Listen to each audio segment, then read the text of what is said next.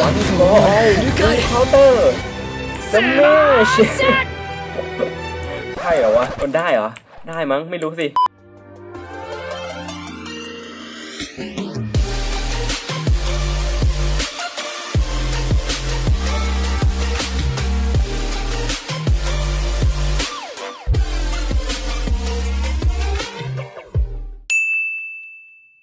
กราบสวัสดีท่านผู้ชมทุกท่านด้วยนะครับ วันนี้ก็อยู่กับผมเบ k กบอยซึ่งคลิปนี้ก็จะเป็น EP ที่ 31 แล้วนะครับผมสำหรับการทำสิ่งแปลกๆ ตามคอมเมนต์ FC ซึ่งถ้าเกิดเสียงแปลกๆ ไปก็ไม่ต้องสงสัยนะครับผมเพราะว่าเป็นหวัดนิดหน่อยนะครับ มาก่อนเราจะไปเข้าเรื่องเนี่ย เรามาที่ Discord บล็อกพิทก่อนเลยครับผม มีข่าวดีมาบอกก่อนที่จะไปเริ่มคลิปนั่นเอง นี่ครับผมประกาศ เอ้ยมีประกาศใหม่ด้วยว่ะเซิร์ฟเวอร์เซิร์ฟเวอร์ประกาศอะไรเนี่ย อ๋อ ก็คือการปล่อยข้อมูลที่แบบว่ายังไม่ได้เปิดเผยจะถือเป็นความผิดอะไรงี้เหรอ มาดูที่ประกาศครับผมประกาศเนี่ยมีการประกาศมาว่าอัปเดต 8 เปิดตัววันศุกร์นี้นะครับผม วันเสาร์สำหรับผู้เล่นคนไทย มีวงเล็บด้วยนะครับผม อันนี้ก็คือมีหลายภาษามากๆเลยนะครับ ไม่รู้มีภาษาอะไรบ้างนะดูดิ เต็มไปหมดเลยนะครับผม จะอัปเดตในวันเสาร์นี้นะครับผมสำหรับอัปเดต 8 ประกาศจากแอดมินเลยนะครับผม จากผู้สร้างเกม จากไอ้ล็อบนี่เลยนะครับผม ซึ่งไม่ได้อัปเดตมานานมากๆเลยนะครับ อัปเดตล่าสุดนี่เดือนไหนเหรอ อัปเดตล่าสุดนี่นี่อัปเดต 7 ล่าสุดเลยครับผม วันที่ 11ด้วย11 เดือน 8 ซึ่งตอนนี้เดือน 11 แล้วครับผมประมาณ 3 เดือนกว่าๆนะครับ เกือบ 4 เดือนที่มันไม่อัปเดต ก่อนอื่นไปที่ Twitter Blox Piece เลยครับผมมีข่าวใหม่แล้วก็มีโค้ดใหม่ใช่ไหมนี่เลเวล700 บวกนะครับผมถึงจะทำการเดินทางข้ามไป New World ได้ เห็นไหมบอกเลยครับผมว่ามันมีการเราจะแบบว่าไปอีกโลกหนึ่งที่ไม่ใช่โลกนี้นะครับอันนี้คือเรียกว่าโลกเก่าก็ได้นะ อันนี้คือ Grand Line นะ ถ้าเกิด New World ก็คือจะมีตัว teleport ไปที่หนึ่งครับผมก็คือว้าไปอีก map หนึ่งเลยนะครับผม ซึ่งมันต้องการเลเวล700บวกนะครับ ซึ่งใครเลเวลไม่ถึงก็ต้องรีบเก็บเวลด่วนๆเลยนะครับผมไม่งั้นจะเข้า New World ไม่ได้นะครับนี่ทวิตเตอร์ Blox Piece ก็จะมีการประกาศแล้วก็ให้โค้ดมานะครับผมโค้ดนี้มีชื่อว่า Friday 22 นี่ครับผมก็ประกาศว่าสุกร์22นี้นะครับ อืมลองไปใส่โค้ดดีครับผม มันเป็นโค้ด EXP นะครับผมทำให้แบบว่าคนที่เวลไม่ถึง 700 เนี่ย เก็บเวลได้เร็วขึ้นนะครับผม ไม่รู้เร็วขึ้นจริงหรือเปล่านะ อะใส่โค้ดไปนะครับผม Friday 22 F R I D A Y 22 อย่างนี้ใช่ไหม แล้วก็กด try ปึ๊บ อ่าสักเซครับผมได้ EXP คูณ2 มาครึ่งชั่วโมงนะครับ 30 นาทีเลย ใครที่แบบว่าเวลยังไม่ถึง 700 ก็รีบๆ ใส่โค้ดอันนี้ไปแล้วก็ทำการฟาร์มไปถึงเวล700ด่วนๆเลยครับผม มาเราไปที่คอมเมนต์แรกเลยครับผม หลังจากพูดมานานเรื่องโค้ดคอมเมนต์แรกจากน้องนางฟ้าคนเดิมนะครับผม พี่มีบั๊กหนึ่งใช้ผลแรงโน้มถ่วง gravity ใช่ปะผลสุดท้ายเลย กดสกิล C แล้วเปลี่ยนผล โอเค กดสกิล C อุกกาบาตปะแล้วเปลี่ยนผลอืมกดแล้วเปลี่ยนผลจะเกิดอะไรขึ้นเหรอ ไหนลองดูดิผมจะลองกดตรงนี้ดูแล้วกันครับผม กดตรงนี้แล้วเปลี่ยนเป็นผลหมีหนึ่งสองสามปึ๊บเรียบร้อยครับผม แล้วไงก็ไม่เห็นมีอะไรนี่ มันบั๊กตรงไหนวะไม่เข้าใจ อ๋อแบบว่าบั๊ก no cooldown ใช่ไหมแบบนี้ใช่ไหมใครจำได้บ้างบั๊ก no cooldown เนี่ยแบบว่ากดสกิลได้รัวๆเลยครับทุกคนโคตรเกรียนเลยเกรียนไปแล้วดูดิมันมันเกรียนมากๆ แต่ว่ามันจะบั๊กนะครับผมก็คือสกิลจะไม่มี damage นะครับทำไปก็เท่านั้นแหละโอเคขอบคุณน้องนางฟ้าคนเดิมมากๆเลยนะครับผม ถัดไปจากน้องน้ำฝนจำนงรักษา 1. เปลี่ยนเป็นผลไฟ เปิดฮาคีสังเกต เมระเมระ เป็นผลไฟแล้วก็เปิดหางกี้สังเกต แล้วก็เป็นผลไฟอีกรอบหนึ่งเปลี่ยนทำไปตั้งหลายรอบวะใช้ท่า Fire Bomb อ๋อ ultimate ของมันใช่ไหมสกิล V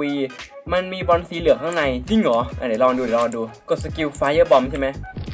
เอ้ย เฮ้ย เอ้ยทุกคนเห็นอะไรนั่นไหม ผมเห็นแล้ว มันคือบอลสีเหลืองข้างใน มันคืออะไรเหรอ มันคือแกนเหรอ คือแกนบอลหรืออะไร ผมไม่แน่ใจ มันเป็นจุดตรงกลางอะ เฮ้ย คืออะไรวะ What is this เอ้ย แล้วผมเห็นตัวเองด้วยดูดิ เห็นตัวเองด้วย จากในลูกไฟสุดยอดทุกคน ผมมองทะลุได้ ข้างในลูกบอลไฟมันมีแกน เป็นแกนสีอะไรอะสีเหลืองๆอะมันเหมือนไข่ดาวเลยวะที่แปลว่าข้างในเป็นแกนไข่ดาวแล้วก็ข้างนอกเป็นไข่ขาว ไม่ใช่เลยว่ะนะพอกดปล่อยแล้วก็หายไปนะครับ ซึ่งผมก็ไม่แน่ใจว่ามันคืออะไรนะครับ แม่ขอบคุณน้องน้ำฝนมากๆเลยนะครับ นี่แหละสิ่งแปลกๆของจริง แปลกจริงไรจริง คิดได้ไงวะเนี่ย สุดยอดเลย ถัดไปจาก นิติพล พี่ครับทำตามผมทีโคตรเท่โคตรเท่อะไรเงี้ยทำบั๊กส้มตำแล้วก็ใช้ผลพระ เดี๋ยวผมใช้ผลพระก่อนละกันนะครับทำตามลำดับนะครับ อย่าข้ามลำดับ เดี๋ยวมันทำไม่ได้ อะใช้ผลพระครับผมต้องมีดาบคู่ด้วยหรอ ใช้สกิล2ดาบคู่ค้างไว้ทำบั๊กส้มตำผลพระก่อน นี่บั๊กส้มตำเรียบร้อยแล้วครับผม แล้วก็ใช้ 2 ดาบเป็น Dual Katana นะครับ แล้วก็ใช้ผลพระใช่ไหมสกิล Z คือกลายร่างครับผม ใช้สกิล2ของดาบคู่ค้างไว้ สกิล2ของดาบคู่สกิล2คือสกิล High Wave นี่เหรอ เอ้ย เฮ้ย โอ้ทุกคน แล้วทำไมพระทำไมพระมันจับดาบ พระมันจับดาบ เลือดไม่ออกดาบหรือไงวะ มันต้องจับด้ามไม่ใช่เหรอ ไปจับดาบอย่างนี้ไม่เจ็บเหรอวะโคตรโหดเลย แล้วตัวลอยได้ด้วยโอ้ my god กดสกิลสองครั้งไว้ก็จะเป็นแบบนี้นะครับ สามารถหมุนตัวได้นะครับผม หมุนตัวปุ๊บปุ๊บปุ๊บปุ๊บนี่ขอบคุณน้องนิติพลมากๆเลยครับผมลองกดปล่อยดิจื๊บโอ้โห อย่างเฟี้ยวเลย ไปกันที่ถัดไปครับผม จากทีละเชดที่ผมมีบัคหนึ่งใช้ผลสายฟ้า 2 กดสกิลบอลเกงกีพร้อมกับนั่งเรือค้างไว้ แล้วขับเรือไปไกลๆ พอไกลแล้วก็หยุดเรือแล้วก็กดปล่อยโอ้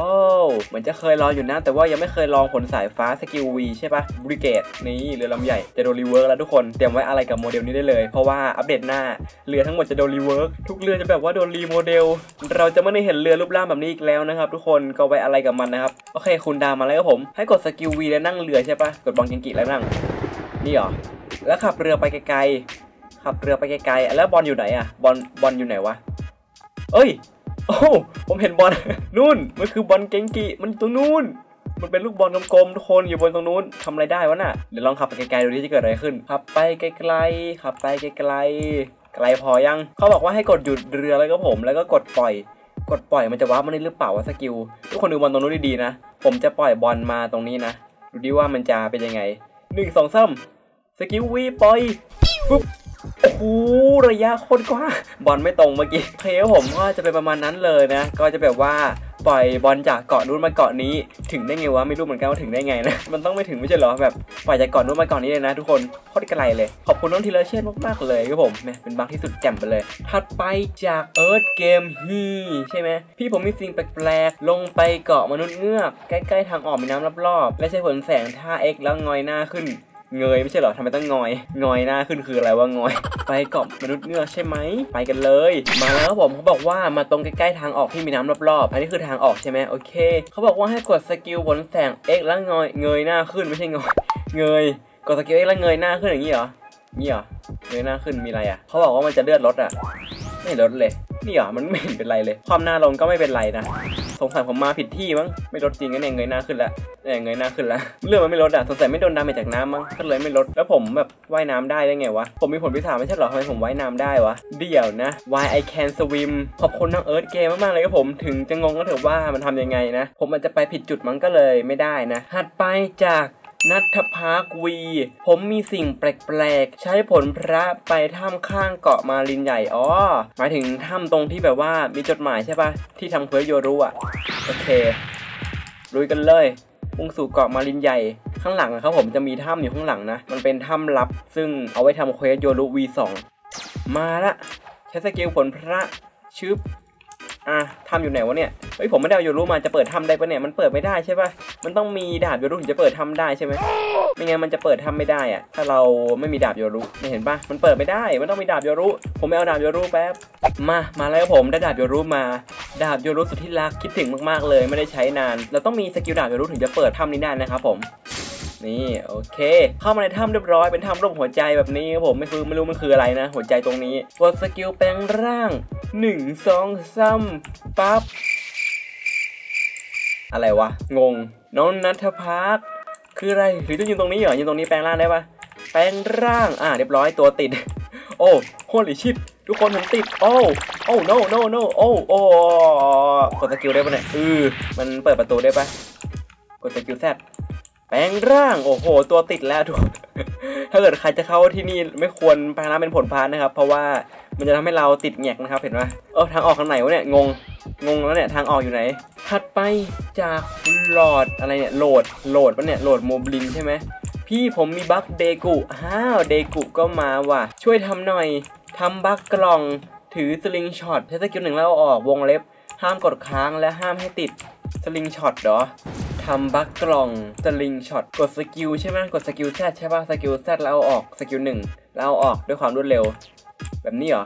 มันติดอะมันติดอะมันติดจริงๆนะเนี่ยห้ามให้ติดมันทำไม่ได้เว้ย มันต้องติดอยู่ดี พี่จะเป็นเดกุดีดนิ้ว ใช้สกิลแรกผลหมีเป็นการดีดนิ้ว ผลหมีสกิลแรกเหรอ นี่เหรอหรอนี่เหรอดีดนิ้ว มันดีดนิ้วตรงไหน ดีดนิ้ว เอ้ยมันก็เหมือนอยู่นะ นี่เหรอ มันก็เหมือนอยู่นะทุกคน ทุกคนงงไหม One For All counter smash ใช่เหรอวะมันได้เหรอ ได้มั้งไม่รู้สิ ผมงงกับสิ่งนี้ เอ๊ะเดี๋ยวนะผลหมีมีอะไรแปลกๆไปทุกคนผลหมีมีอะไรแปลกๆไปตอนที่มัน warp เฮ้ย เอ้า มันมีอย่างนี้ด้วยเหรอวะ มันมีตั้งแต่แรกหรือเปล่า ผมไม่แน่ใจผลหมีสกิล F เนี่ย เฮ้ย มันมีเหรอวะ ปกติผลหมีเวลา warp มันจะไม่มีเอฟเฟกต์นี่หว่า เฮ้ย เอฟเฟกต์ผลหมีมาจากไหน งง ทุกคนดู effect warp ผลหมี